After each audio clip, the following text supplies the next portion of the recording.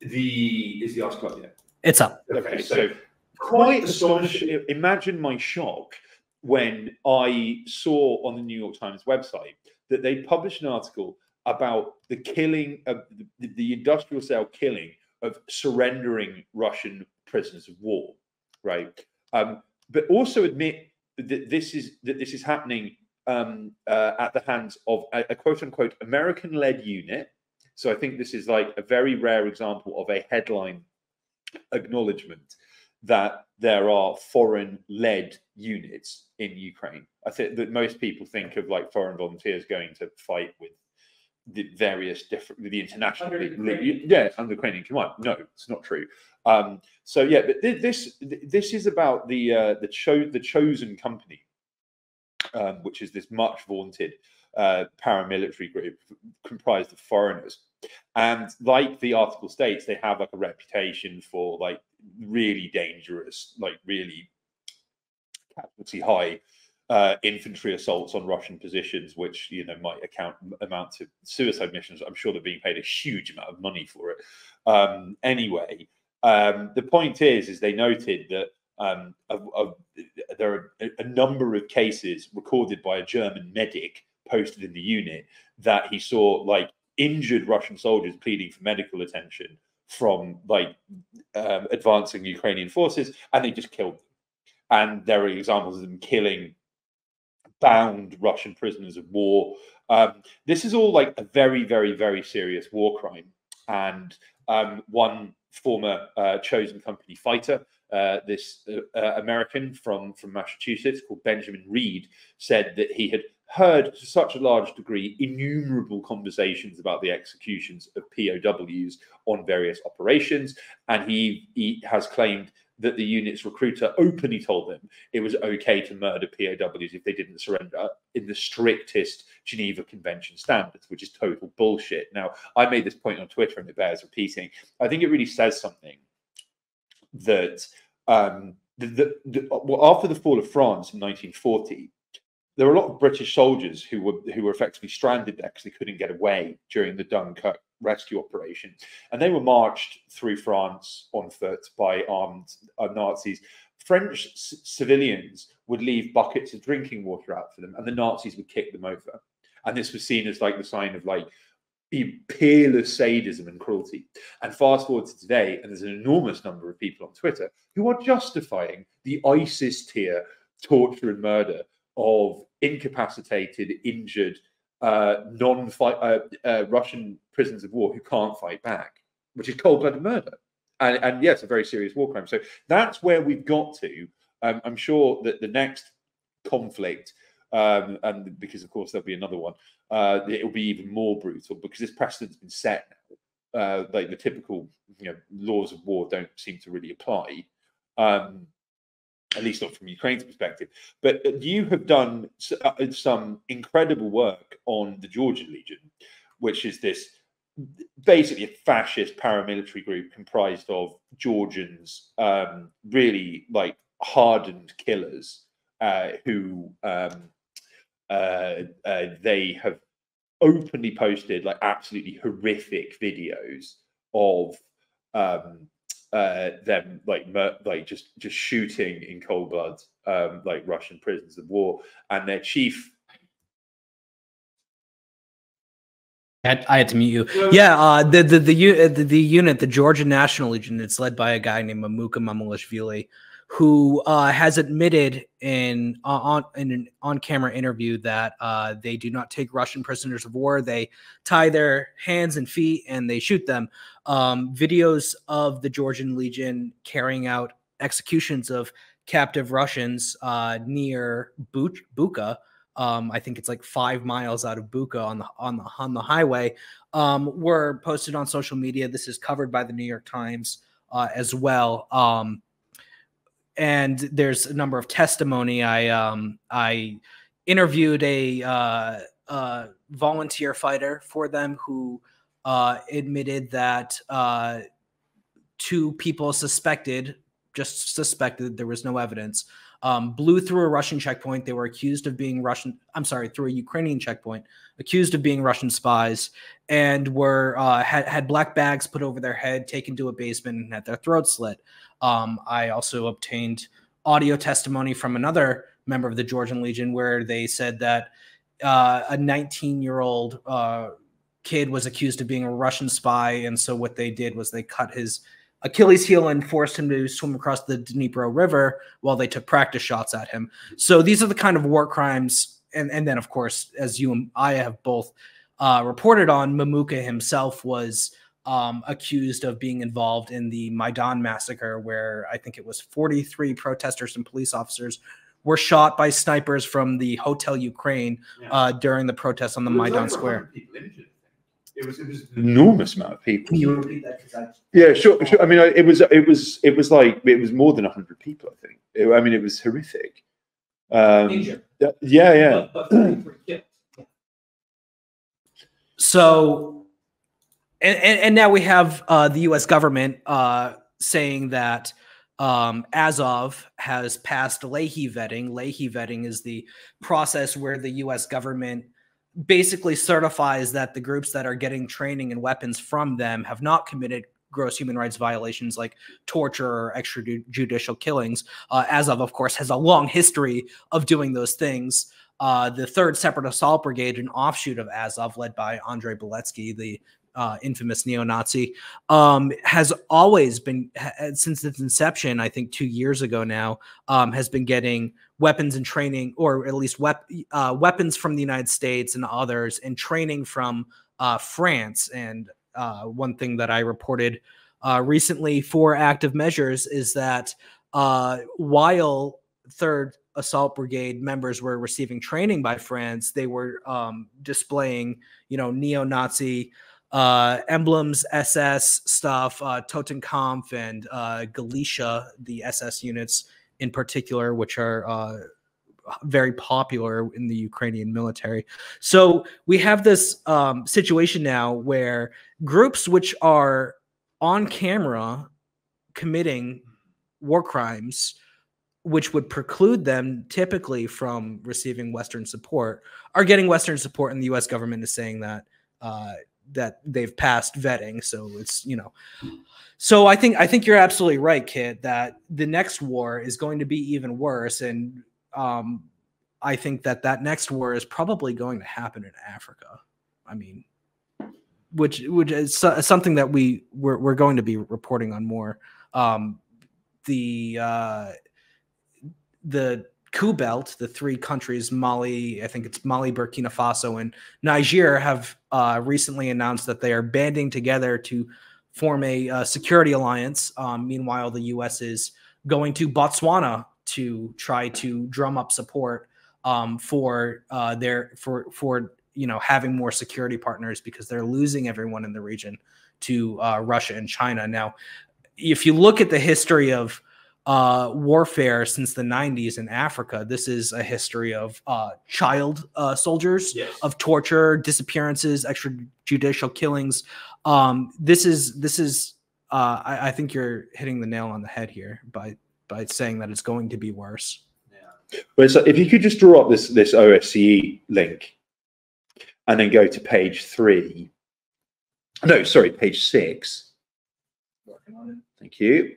Yeah, so I just just like, like make this point that one one of the most interesting sources of information about what what what's actually been happening in Donbass over the past eight years um, has been reports from the Operation for Security and Cooperation in Europe, and they had observers um, on the ground from day one.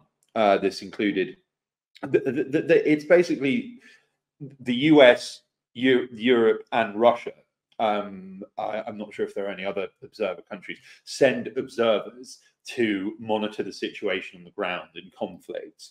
Um, they have, in some instances, been exploited for nefarious purposes, like in the war in Kosovo, where they were actually all CIA operatives who were scouting out places for NATO to bomb under the guise of, oh, we're just observers from this organization. Anyway, the point is, is a lot of these reports about what, what was happening in Donbass completely detonated what we were being told in the Western media by NATO, by the US, by Britain, and by Ukraine about what was happening. Which is they were told they were told that they were fighting. We were told they were fighting this kind of like low key third world war, and that the Russia had secretly invaded the country and lied about it. Um, the OSCE reports make clear that this is completely untrue. And what they were doing was carrying out this at the Ukrainian forces were carrying out this absolutely brutal crackdown on the civilian population, kidnapping people, um, shooting at people from cars, uh, just to just to create this sense of permanent terror amongst the population. I think you know, in, in Mariupol, um, this was effectively ruled by Azov and Right Sector for many years, and they ruled it with an absolute iron fist. Um, so it, on, there is a there was a submission to the OSCE which the OSCE published in 2016 based on interviews with hundreds of, of people from Donbass who had been taken prisoner by the SBU and by groups like Azov and Right Sector. Now, are you on page six? Yeah. Right. So you, we just scroll down this very slowly, but I'll, I'll read it. So um, this is based on the first-hand uh, witness accounts, but also often the physical appearances of people who spoke, who um, who had been held in Ukrainian custody. Now, um, it states that there, it, it, concludes pretty firmly that there is this like systematic and ever worsening level of brutality being deal, dealt out to, to um, often completely innocent civilians. Um, and so, when in the custody of the SBU or Right Sector or Azov, um, prisoners were routinely electrocuted, beaten cruelly, and for multiple days in a row with different objects iron bars, baseball bats, sticks, rifle butts, bayonet knives, rubber batons. Um, technique, other techniques included waterboarding, strangling with a banderist garrote, and other types of strangling. Uh, rape was used. People were told that their that their mother and that their sisters and that their girlfriends and wives would be raped unless they signed confession stating that they were members of um, the breakaway rebel republics and that they were supportive of this, even if they weren't. Um, they were given uh, bizarre cocktails of drugs that made them intensely sick and were told that you're going to die unless you sign these papers, and then we'll give you the antidote. Um, other, yeah, other torture methods used by the Ukrainian armed forces and, and security forces include bone crashing, stabbing and cutting with knives, branding with hot objects, which included like branding people with swastikas, I might add, shooting different body parts with small arms. Someone in the report talks about how they had their hands cuffed behind their back and a grenade with the pin pulled out of it was left in their hands. So, like, if they fell asleep, they would die. Like it's just just just just just barbaric. Um, yeah, the prison prisoners taken captive by the Ukrainian armed forces are kept for days at freezing temperatures with no access to food or medical assistance. Um, an absolute majority of prisoners are put through mock firing squads and suffer death threats. Their families, many of these tortured, are not members of the self-defense forces of the Donetsk and Lugansk People's Republics. Okay, so yeah, that this is like got zero media coverage whatsoever. And this was the, the reality of like daily life for an enormous number of people living in Donbass. Enormous. Now, if you go on to the next link, Alex. Well, can, sorry. Can I, no, yeah, yeah, yeah, sorry. No, no, no, no, I'd, go. I'd like to. I'd, well, because I've I've I've reported on this document before. Yes. Um, it's f- from prior to the invasion Yeah. by Russia. Um, but I don't know if our audience can see what I'm doing here, but I'm typing in Azov. And what we can see is 17 mentions in this document of Azov. Uh, it was the it was the Azov battalion that arrested me. They beat me with rifle butts during the arrest. They questioned me using electroshock devices and beating me left and right. After that, I was taken to Mariupol SBU. Let's go to the next one.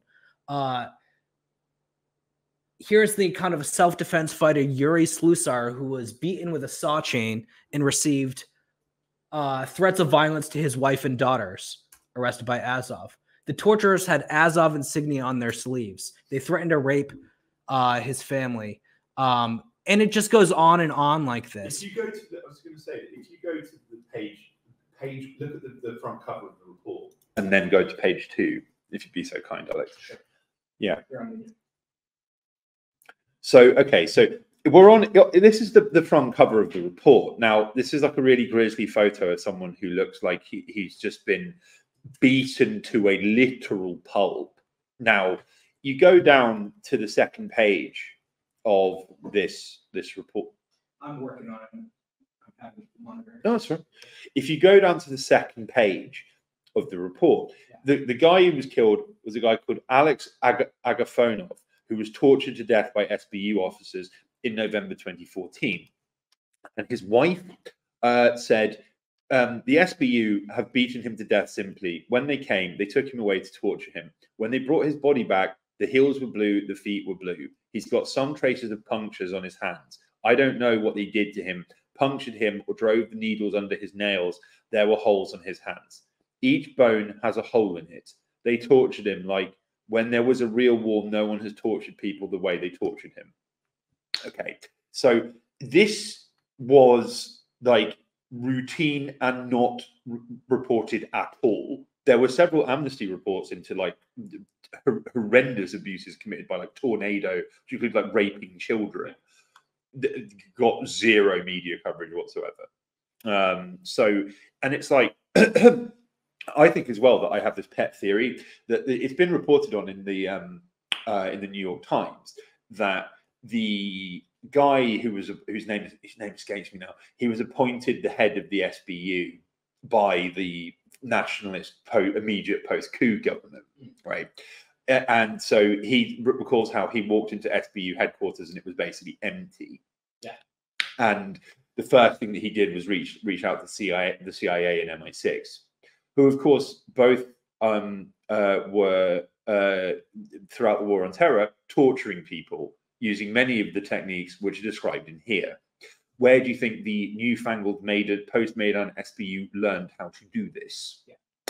Um, so yeah, if you and I just I think might add as well that like that report it was submitted by an organization which is based in Russia. So um, we can it, it, should, there will no doubt be a chorus of people who suggest, oh well, this is Russian disinformation. The OSCE report. Oh, okay. Yeah, yeah, yeah. But if you just if you go to the next link down, Alex. Yeah. So this is a no, no, no, no, no. The the uh, BAILII UK immigration. Oh, no, that's all right.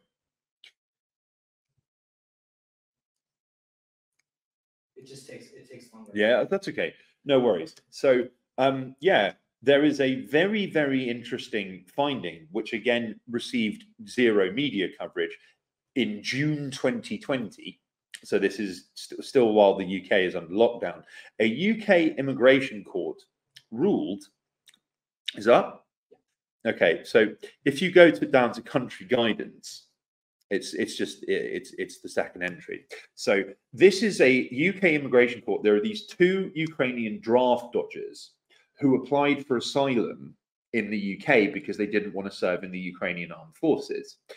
Um, and the UK court found in their favor on the grounds that military service in Ukraine would, by necessity, entail committing war crimes. So, in there, there is a section called Country Guidance, the conduct of the Ukrainian military in the conflict in the anti-terrorist operation zone. Uh, it states Elements of the Ukrainian military engage in the unlawful capture and detention of civilians with no legal or military justification. The, the, the reason that they were doing this was so they would have they, they needed quote unquote currency for prisoner exchanges with the Donetsk and Lugansk People's Republics. Yeah. So uh, it states there is systemic mistreatment of those detained by the Ukrainian military in the conflict uh, in the east of the country. This involves torture and other conduct that is cruel, inhumane, and degrading treatment, contrary to Article 3 of the European Court of, of Human Rights. Um, even when it, where such det- detainees are eventually transferred into the judicial detention process, there is likely to be official indifference to the mistreatment that they have received. There is an attitude of an, an atmosphere of impunity for those involved in mistreating detainees. No one has ever been brought to justice. Pro-Kiev militia have been rewarded for their work for their work by formal incorporation into the military. Lawyers are afraid of taking of taking on cases of people who were kidnapped and tortured uh, by the SBU due to the risk of retribution. Um, it also states that um, the the Ukrainian military and the paramilitary, the far right paramilitary groups that who were doing a lot of their fighting for them, uh, would embed themselves in residential areas and civilian installations. This is a war crime, uh, and uh, it also led to the widespread civilian loss of life and the extensive destruction of residential property. Uh, so, uh, due, due, to disproportionate attacks carried out by the Ukrainian military. So, don't take our word for it. Don't take um, this Russia based human rights organization's word for it. Um, take a Ukraine, UK immigration court. This is a country that was heavily involved with these same fascist groups that found that, that, that Ukraine was doing this based on the evidence provided provided to the court. So, yeah, um, like pretty compelling. Hey everyone, um, if you enjoyed this video or, or any of our other content, uh, please give us a follow on Twitter or subscribe to us on YouTube. It will help us beat the algorithm oligarchs. Thank you.